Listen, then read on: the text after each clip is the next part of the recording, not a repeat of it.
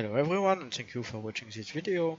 I am Baptiste Lambin and today I will present our paper at AsiaCrypt 2021 uh, which is called Strong and Tight Security Guarantees Against Integral Distinguishers and this is a joint work with Phil Hebborn, Gregor Leander and Yosuke Todo.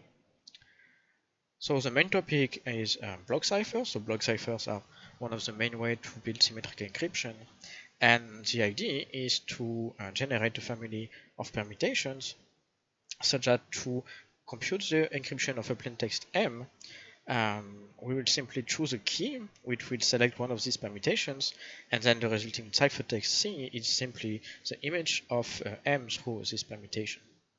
So an ideal block cipher would be a random selection of permutation and uh, this is quite hard to do. So in practice we try to build block ciphers which, approx which uh, approximate um, this ideal block cipher. So one of the ways to do so is to use a key alternating block cipher. So instead of designing the whole uh, set of permutation all at once, we will first design a round function f and a key schedule, and this key schedule will take the key k, derive some subkeys uh, k0, k1, and 2kr, and then to encrypt, we will take the plain text at key, uh, k0, apply the round function f at k1, apply the round function f again and again until the end, and we obtain the ciphertext. So most, if not all, block ciphers these days are uh, key alternating block ciphers, and uh, one of them is, for example, AES.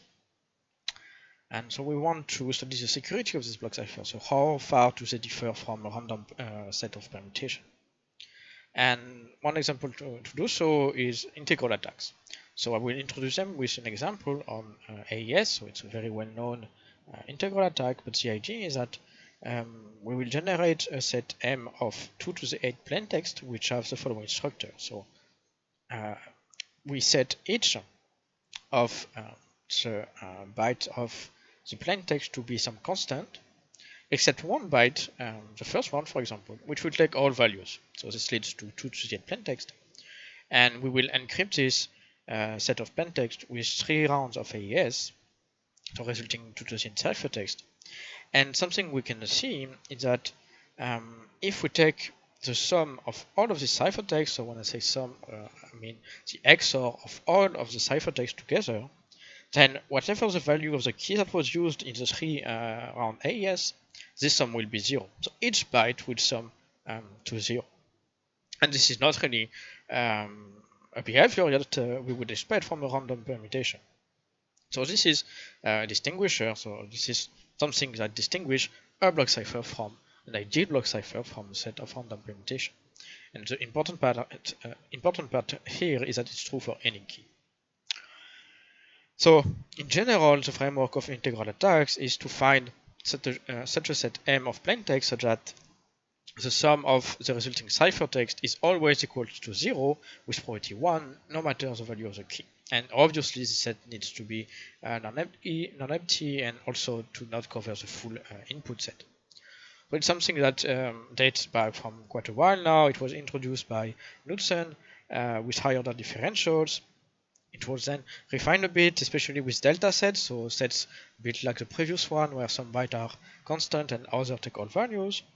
And um, I will talk a bit about it later, but there are some links with the ANF of the cipher, so with the algebraic representation of the cipher. And these days, um, the most common way to study integral attacks is to consider division property introduced by Yosuke Todo a few years ago to actually find this set M. So, um, integral attacks are uh, the goal of integral attacks is to find this set M such that the resulting sum is zero.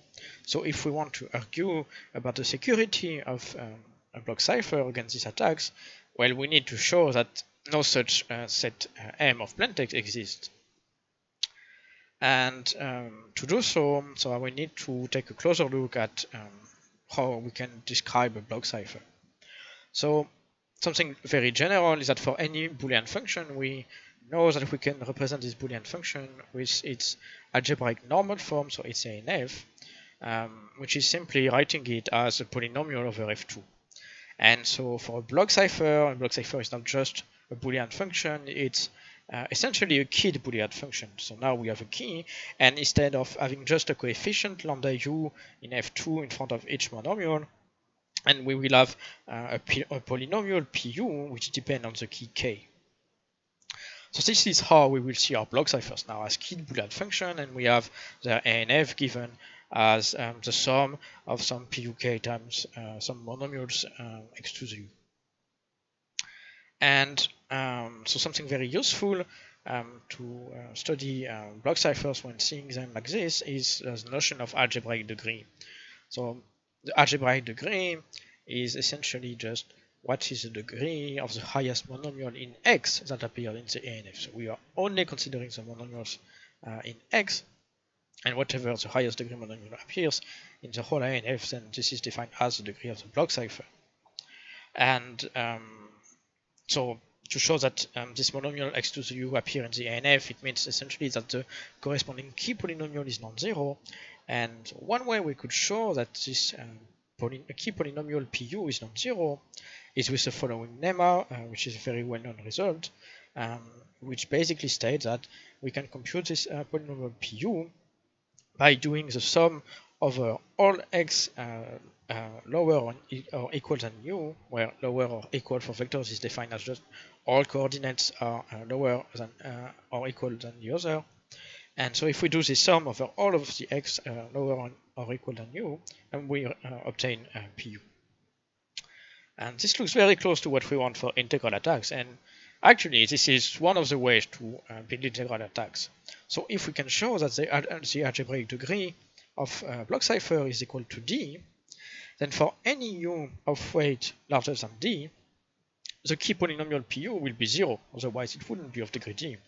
But if this uh, key polynomial pu is equal to 0, this means that the sum over all of the x uh, lower or equal than u uh, of the resulting ciphertext is equal to 0, which is exactly what we want for, in, for an integral attack.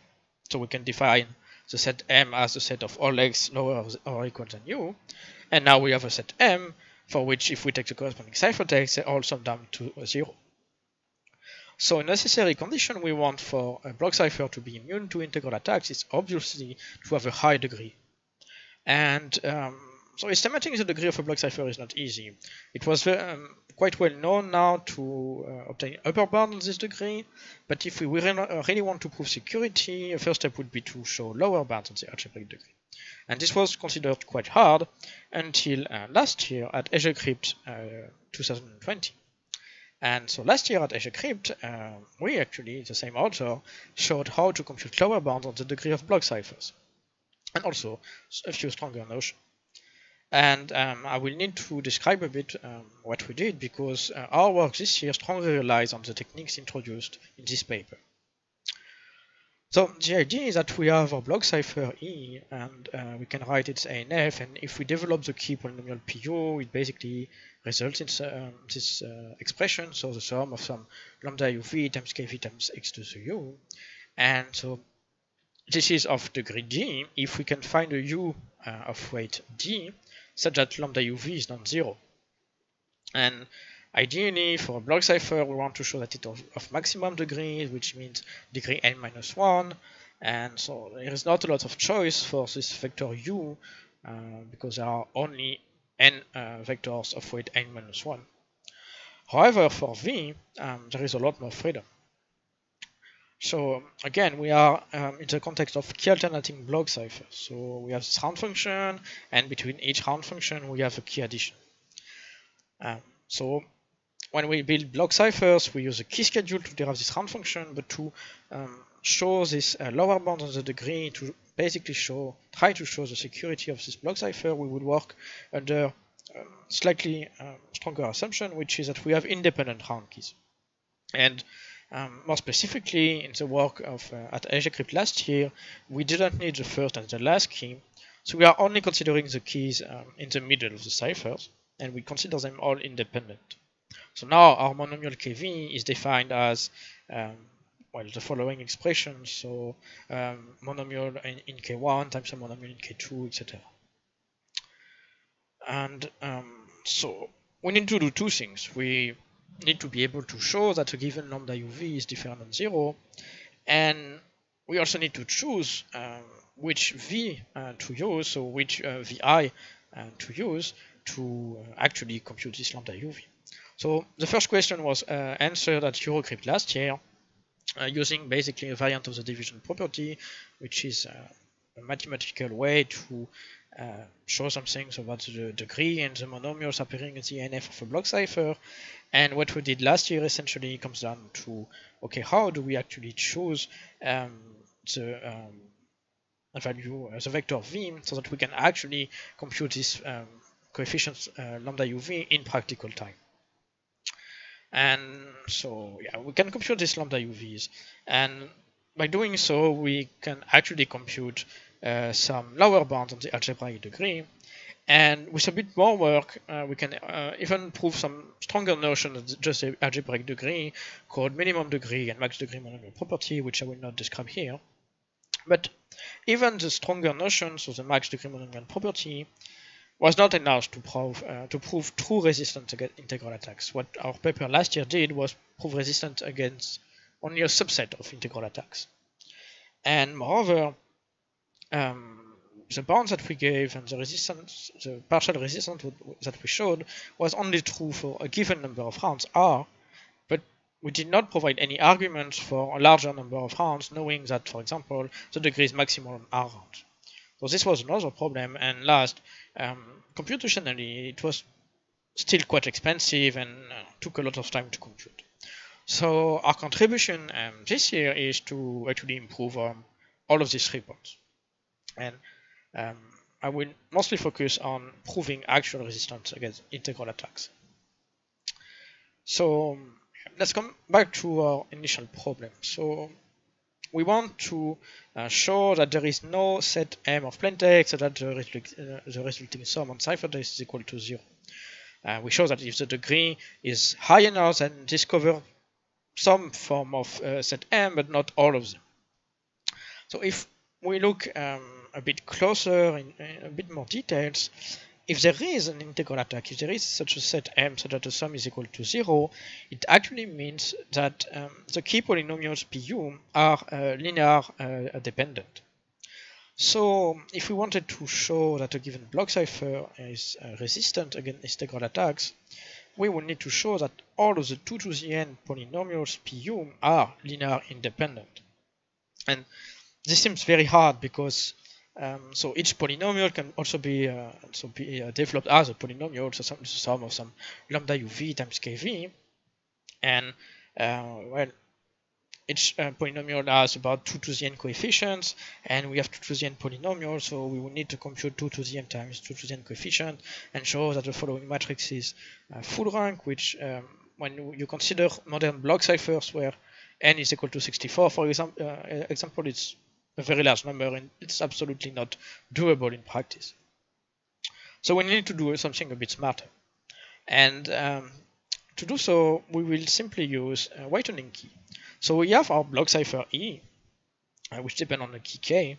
And uh, what we do is considering an augmented cipher where we just add a whitening key, so a, a key K0 before the actual block cipher. So we have the ANF of uh, our block cipher EK, which uh, is the sum of some pu uh, times uh, x to the u. And now we also have the ANF of the augmented block cipher, which is the sum of some um, qv times x to the v, and qv now are polynomials in both the key k and the whitening key k0. And the main theorem that we show is that if we consider only one output bit of the block cipher, then um, by showing that all of the polynomials p i are linear independent, so the polynomials in the original block cipher, then all of the resulting polynomials in the augmented block cipher, so the block cipher with the whitening key, are linear independent. So why, why is this useful? Because the polynomials pi, pei, are the polynomials associated with um, the vector ei, which is defined as um, one in each coordinate except coordinate i, which is set to 0. And there are only n vectors of this, of this form. So if we are able to show that n polynomials are linear independent, then only by adding a whitening key, we show that all of the 2 to the n uh, resulting polynomials are linear independent. So now we reduce the word from 2 to the n to n polynomials. So this was only for one output bit. Uh, a block cipher obviously has more than just one output bit, it has multiple output bits. And an attacker could um, try to see if the sum of some of these output bits is zero, but also try to sum, for example, linear combination of output bits. Um, so we don't just need to show that all of the output bits verify the theorem, we need to show that any linear combination of output bits verifies this theorem. Which means that for any non-zero uh, beta, the inner product between beta and ek verifies uh, the previous theorem. So this is just a one bit, uh, one bit, uh, one output bit function. We need to show that all of these functions verify the previous theorem. And again, there are two to the end of this function, so we cannot do it very uh, naively. Uh, we need to do something a bit smarter. And um, it's actually very uh, somewhat easy to see. So yeah, we need to show that all of these functions, so inner product of beta and the block cipher, um, verifies the previous theorem, which means that we want actually that all of the inner product between beta and the specific uh, specific n polynomials PEI, so associated with the weight n minus 1 vectors, are linearly independent. And so what this means, since the P of uh, PEI are uh, vectors of polynomials is that we only need to focus on n squared polynomials and show that all of these n squared polynomials are linearly independent, which is much smaller than the 2 to the n polynomials we had before. So we need to show that all of these polynomials are linearly independent. And to do so, well, again, these polynomials are expressed as some lambda u uh, v times k to the v, so we just need to find um, a few vi, uh, at least n squared, such that when we write this uh, matrix, so the matrix of the coefficient of each polynomial, uh, this matrix is full rank. If this matrix is full rank, then the n squared polynomials are linearly independent, and uh, we won. We actually proved um, uh, integral uh, resistance, resistance against integral attacks. So yeah, in short, for a block cipher EK, we compute about n uh, to the 4 well-chosen coefficient uv, so that the previous matrix is full rank, and if we are able to do so, we show that um, the block cipher, when using a whitening key, uh, fulfills the integral resistance property, which means that the block cipher is immune to integral attacks. And we can compute these lambda UVs using what uh, we did last year at AsiaCrypt. Um, however, a small caveat is that um, it was still uh, only using the work from AsiaCrypt last year um, was a bit slow. Uh, it was still very um, computationally hard, and um, even if some result could have been achieved, just doing it naively wouldn't work. Essentially, the issue is that to uh, compute these lambda UVs, we need to count the number of solutions in an MILP problem, so a linear programming um, problem and in general this is quite hard. So what we did to improve this is essentially try to reduce the number of solutions to these problems.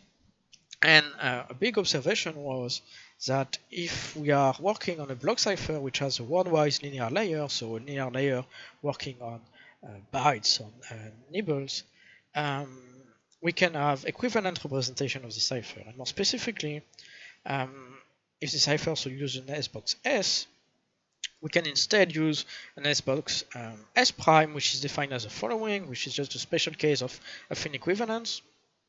Uh, so that, uh, assuming independent round keys, like we did in the beginning, uh, we have equivalent ciphers. So now, instead of uh, just one cipher, we have actually uh, quite a few of them, uh, 2 to the 22 if the S-box is over 4 bits. And what uh, we did was design some heuristic criteria to pick which representation to use so that the number of solutions in the MILP problem um, would be rather small so we can actually enumerate this solution and so obtain our result which is computing these lambda UVs. And so we designed these heuristics. We also um, show how to actually choose V in a smart way so that we have a lot of lambda UVs which are automatically um, equals to zero without doing any computation, just by, by design.